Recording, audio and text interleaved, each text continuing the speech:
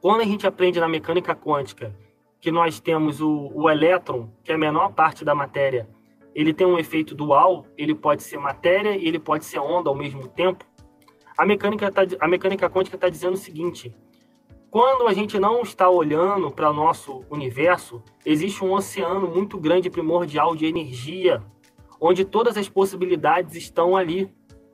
Quando a gente para para poder olhar, para poder raciocinar, a gente diminui a frequência da onda, a gente colapsa a função de onda e agora que, aquilo ali vira matéria. Então, aquilo que está fora de você nada mais é o espelho, nada mais é o reflexo de, daquilo que está dentro de você. Eu vou dar exemplo o seguinte: quando a gente critica alguém, por exemplo, e porque aquele fulano de tal é orgulhoso, e porque aquele fulano de tal é, não é uma pessoa de confiança. Ah, porque aquele fulano de tal não me ajuda. Sabe que quando você faz esse tipo de crítica e você percebeu aquele problema ali, é porque aquele problema tem dentro de você. Você quer conhecer uma pessoa, o que ela pensa, quais são os defeitos que ela tem? Espere ela criticar ou falar alguma coisa de alguém, ou até mesmo de você mesmo.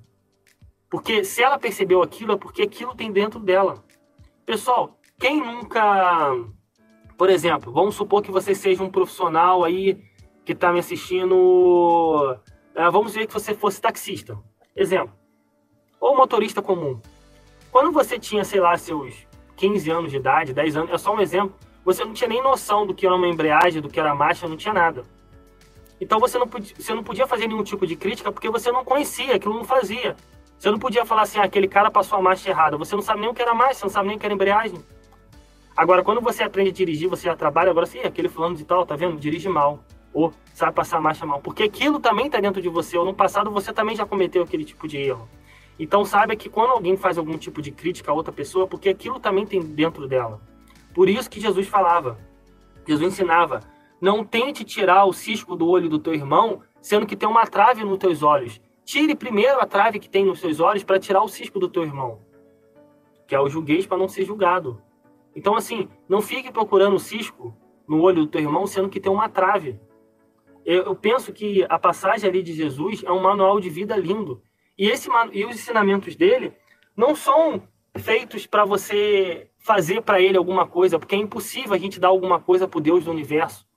A única coisa que a gente pode fazer é para o nosso próximo, que aí sim, diretamente, você está fazendo para ele. É a única coisa que você pode fazer, porque as, os ensinamentos que ele estava falando ali é para você mesmo não sofrer. São ensinamentos da vida ele passou aqui, se fez homem nessa terra aqui, nessa, nessa fase aqui, para que ele ensinasse a você a não perecer, a não sofrer. Quando ele falava não julgueis para não ser julgados, foi para você não sofrer as consequências daqui.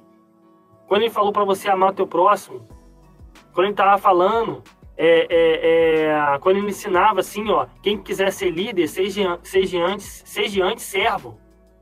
Ele estava dando um exemplo quando ele pegou ali e lavou os pés, para que você não tenha tanto orgulho você não tenha tanto ego que você diminua.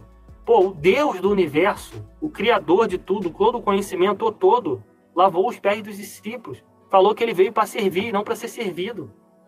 E ele falava que ele, o testemunho dele não é por, por ele mesmo, mas quem o mandou é que testifica por ele. Vocês têm noção, pessoal, da profundidade disso? Por isso que o ensinamento de Jesus são, é mecânica quântica puro. E eu gosto muito de fazer esse tipo de analogia porque encaixa perfeitamente bem com os experimentos que a gente está vendo em laboratório. O da dupla fenda, o efeito Zenão, comunicação no local, o efeito Casimir. Todos esses efeitos que a gente aprende em mecânica quântica, eles são muito bonitos, são muito verdadeiros e já era praticado na, na, na, na antiguidade. Então, assim, é, é, a palavra que eu quero dizer para vocês hoje aqui, de uma motivação, é se você tem esse conhecimento, se todo esse poder, se, todo, se tudo está à sua volta, por que, que você está sofrendo nesse exato momento? Deixe o amor de Deus te envolver. Deixe é, é, esse orgulho, esse ego e tome uma atitude. Saia, nessa, saia dessa condição de âncora que você está e busque a felicidade. Se você está sentindo vontade de fazer alguma coisa, faça